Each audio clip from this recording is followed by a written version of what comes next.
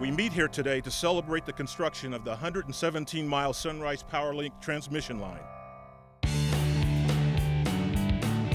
Safety is number one, and when we mean that, Everybody wants to go home at the end of the day. It's a major undertaking. Every day that nobody gets hurt is a good day. like no other project that I've ever seen in my lifetime. Communications and safety go hand in hand. We have a new set of challenges each day. We're going to have a lot of people exposed to a lot of risk. Safety is number one job one for us in this company. I'm really proud for what we've accomplished. It's nothing less than amazing. I'm pretty passionate about safety.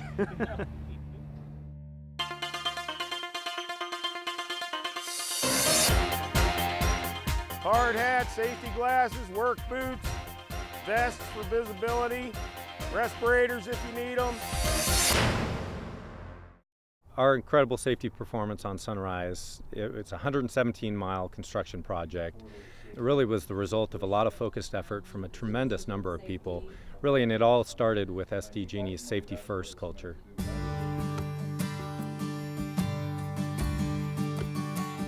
The commitment to safety is one that is long-standing in our company, from the CEO's office to the president and the chief operating officer in terms of setting the expectation for how we approach work at SDG&E. we don't take shortcuts. At the end of the day, everybody needs to come home from the project safe and sound. And that expectation has now made its way into the individual employees' approach to how they do their work. The crews themselves take a lot of pride in the construction that they do. They've definitely done a good job stepping up and making sure everything's done safely. I've been in construction for over 24 years, and I've never seen a company this dedicated or put this much time and effort into the safety of its personnel on a project of this size. And I would say that that culture was pervasive throughout the, the contractors as well. It was put out to them right from the get-go how important safety was going to be on this project. The way you are now is the way we want you to leave the job at the end of the day. And if you look at the performance on the project, we've got an exemplary record, and it is probably far superior than comparable work anywhere else in the industry.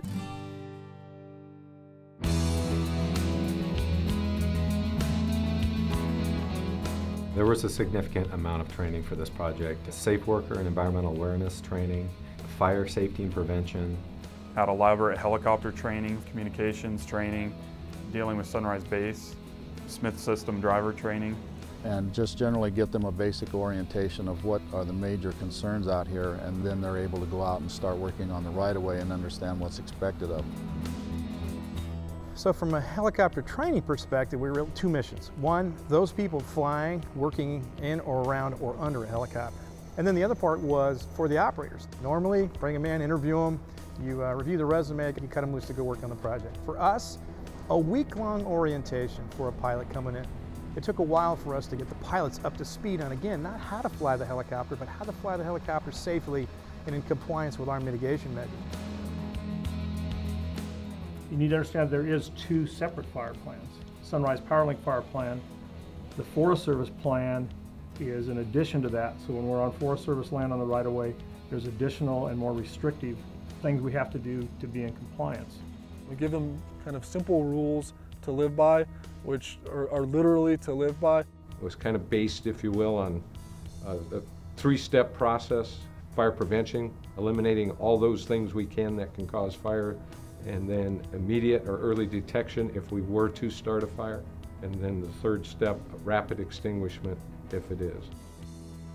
There's basically two schools of thought with safety. There's zero tolerance and there's behavior based. The idea with zero tolerance is you're sort of a policeman and you walk around and if you see somebody not doing what they're supposed to do, you fire them, you write them up, you kick them off the job, you give them time off, that sort of thing, where they're in trouble. But the behavior based safety, the worker formulates a plan for completing the task and how they can do it safely. And the idea behind it is that they'll do it the right way even when you're not watching. We can prepare all we want on uh, these projects leading up to them and all the proactive safety measures, but the reality is, with the type of work going on, the amount of work going on, incidents are likely to occur, and we had a tremendous amount of safety challenges on the project.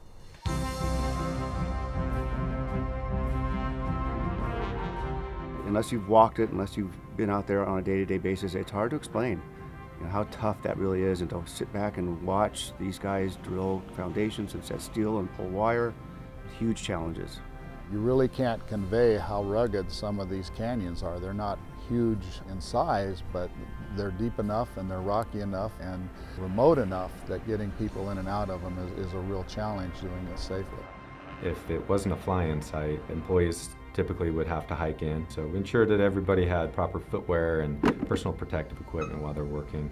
Making sure that employees were prepared was a very, very important part of keeping people safe.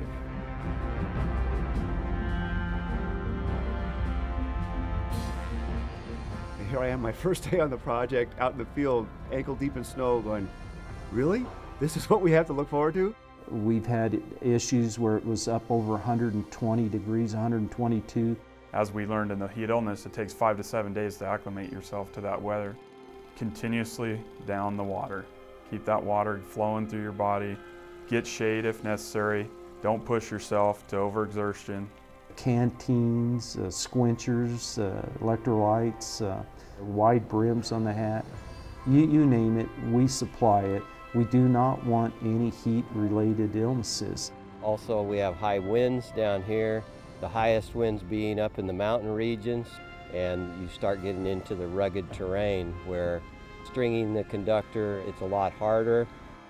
You can go back up there today and fly over it, and you'll scratch your head to wonder how in the world did they do that?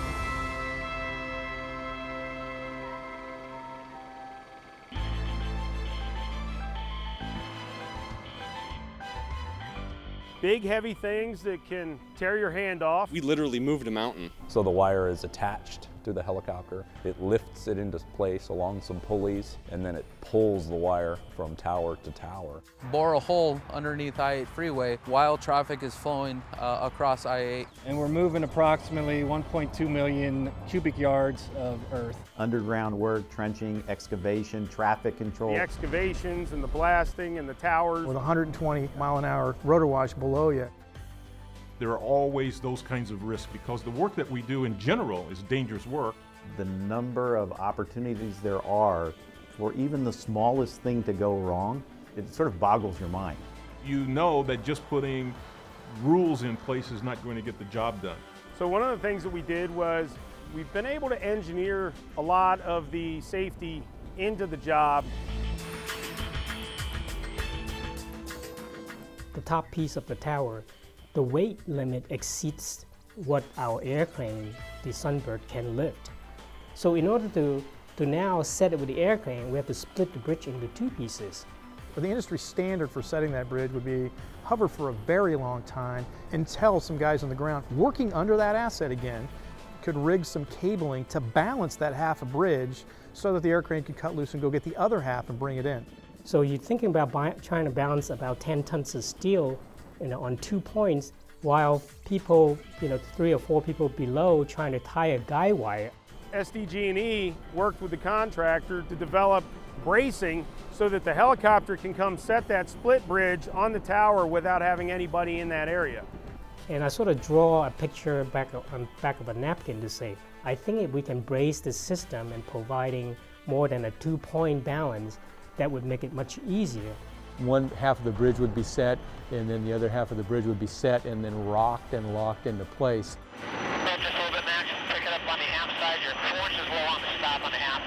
They are taking this standard practice now to other utility when they do the similar type of construction. So a lot of these innovations came out of the ethos around safety in the company and also some of the real challenges that this team had to face in construction of the project. In the real world, there's always a better way. The only thing that stops that is people, not in this project.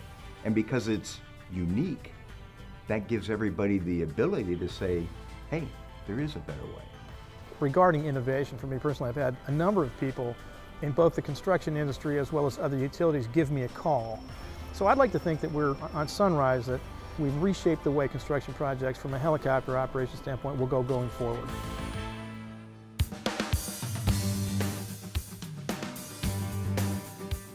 The project originally was designed to have 79 towers to be built by helicopters. Originally, we are going to have most of the project was going to be done conventionally, and that means being done on the ground with cranes which require access roads. But as we progressed through this, the rules were being changed by the PUC and the other agencies that essentially said, no, we're not going to let you build these access roads.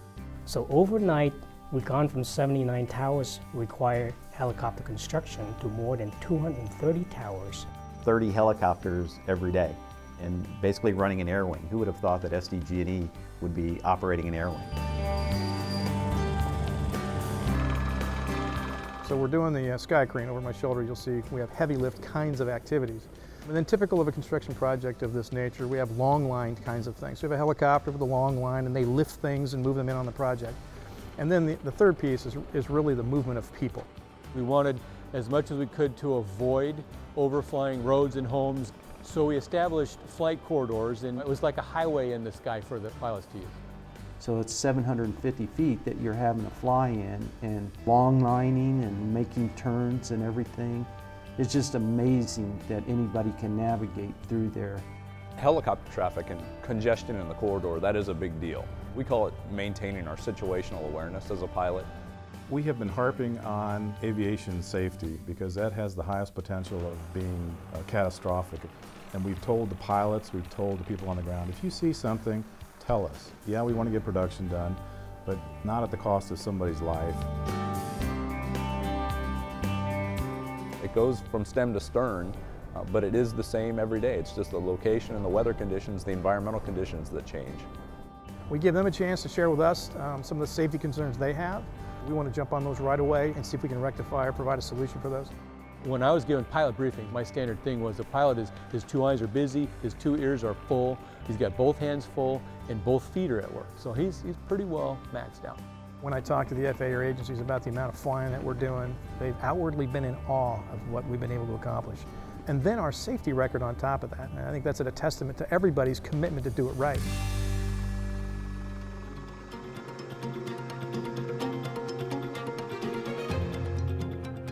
Fire prevention compliance, it's right at the top because the Forest Service can shut us down if we're not in compliance, even if we don't start a fire. Our obligation is take a look at our work activities every day. Take a look at them and actually pull out and remove those that we don't have to do. It leaves a chunk, I call it, of work activities that we have to do. And then I think it's important we take a look at those individually and say, what can we do to minimize those risks? Well, you still have a chunk of risks that can start a fire any way you look at it.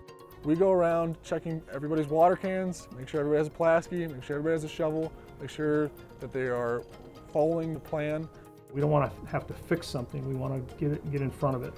If it's a large wildfire impacting our work area, it's how do we get them out of here safely? Where do we get them to take care of them? We try to encourage our crews to have multiple escape routes in mind. We've hiked them and we found new ones and then we've put them into One Touch and created new graphics in there and then distributed them to the crews so they know where to go in the event of an emergency. Copy that. One of the strongest lessons we learned on Sunrise was the, uh, the need for reliable communications. And one of the crown jewels of the project I think we're all so proud of is Sunrise Base.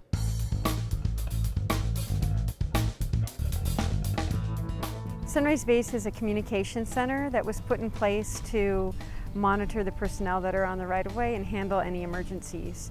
The base was created when there was an extreme safety event and they couldn't get resources then because they didn't know where they were. It took an hour and a half, two hours for them to get the 911 help that they needed. So after that, the project management decided that they needed to do something to enhance the communications. So we initiated a project where we selected phones from four carriers along with a satellite phone of 800 megahertz and 900 megahertz radio system, and then we began to fly site to site to site to site and test each one of those devices and see which ones worked best at that particular site. Mobile radio communications requires uh, specific mountain peaks, so you had to find higher elevations, and there's just not enough of them that are commercially available for us to go into, and we had to get really, really creative. I want to be able to talk to a pilot anywhere on the project that's flying. So we came up with a creative solution to use uh, land-based handheld radios. So we put that handheld in a helicopter and took it up to elevation and surprise, they worked. You can talk from El Centro all the way out to the coast on these handheld radios. It's very reliable. And we layered in the flight following technology. Never been done that I know of. And anywhere they traveled on the project, we had access to them from Sunrise Base. Unique. One Touch is an overlay of Google Earth. We use that to plot our workers. So when they call in from a site, we put a little push pin on the map so it shows their exact location. So we can see all of the towers, temporary landing platforms, we have walkout routes, we have weather capability. There's been several other companies that have come in here and looked at the base. How do we transfer that over to Southern California Edison or PG&E or whatever other entity within the state of California? And so we're doing that and we're reaching out to the other utilities as well to, to share this knowledge. One rule I have is we don't go home in Sunrise Base until we can account for everybody. And I think it's been really, really a, a centerpiece for the project. We've formed very good relationships with the people out on the right of way. And uh, so everybody pretty much knows the voices over the radio. Sunrise Base was one of the best examples of the strong teamwork that we had during this project. With the number of uh, contractors we had working on the project, uh, the number of employees, all the diverse personalities and disciplines that were involved, teamwork was really one of the most valuable assets. Our team consists of the safety group, the security group, and the wildland fire group, and they've come together very well chemistry-wise as well as knowledge-wise. All the contractors you have, all the different people from all over the country, between everybody, we all kind of put our heads together and figure, okay, this is what we want to accomplish. How do we do it? We have these master tailgate meetings in the mornings at each of the show-up yards, and we go around, we touch first and foremost on safety. They also talk about environmental measures. We go through fire compliance. It just creates that unity of we're all working together to get this thing done. We have all the knowledge that we need to get this done and we all know what we're doing and we all know the right way. So just help each other out. If you see something and it looks iffy, don't do it. Find a different way to do it. So what I try to do in the tailboards is develop a relationship and we try to be like coaches, counselors, and we're not telling them what to do. We guide them and we try to get them to think. I'm a big believer in allowing the, the group to have time for their own feedback. Don't talk at somebody, talk with them. You have to earn their respect first. You have to earn their trust. It's not the machinery, it's not the aircraft, it's the people behind the machinery, it's the people behind the aircraft. So that's the value of all this is when this is all said and done, we did this as a team. It's living proof that through building strong, credible, trusting relationships, you can accomplish anything. What I'd give anybody in safety for advice would be if you see something, don't ignore it. Take care of it because you could be saving somebody's life.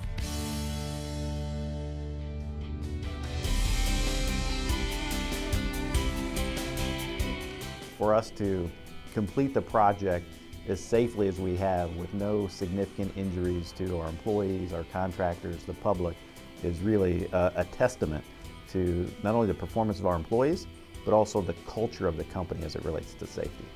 The devotion to safety is something that I think is one that uh, will go down in the chronicles of uh, great achievements for our company. I'm very impressed with the flexibility, the ingenuity, the creativity of this project team. It's just been remarkable. And for a team to come together the way we have and have the chemistry that we do and have the success that we have is something that will be somewhat of a legacy for this project that these guys can all look back and say, wow, that was awesome. We did a fantastic job there. And when you're in safety, it's not always easy to say, here's the bottom line, here's what we did. It's, it's one of those things that you just kind of walk away with laying your head down on the pillow at night knowing that you did your best job and it paid off because you just know that people aren't hurt as much as, as they would have been under normal circumstances or have been in the past on a project like this.